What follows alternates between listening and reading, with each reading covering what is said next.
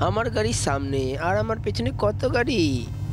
কিন্তু আমি এদের সবাইকে উড়িয়ে দেবো আর আমি একাই থাকব।